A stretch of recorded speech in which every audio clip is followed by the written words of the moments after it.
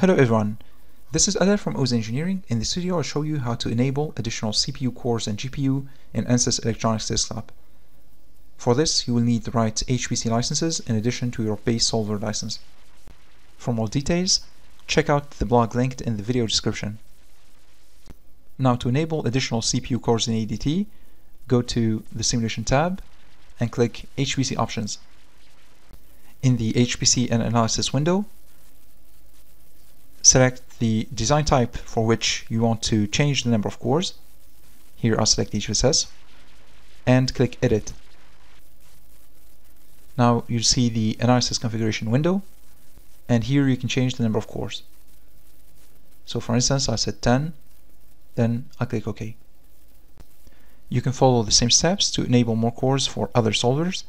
Here for instance I'll select uh, Maxwell 3D I'll go to Edit and I'll change the number of cores to 10.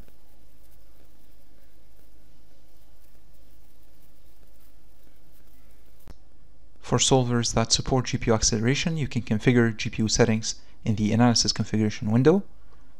So let's go back to HPC Options. You can also open this window by going to Tools, Options, HPC and Analysis Options. Here we'll go to the Options tab.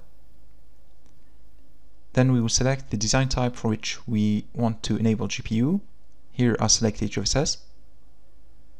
And under HPC licensing, set Enable GPU to True by clicking the value next to it and toggling it on.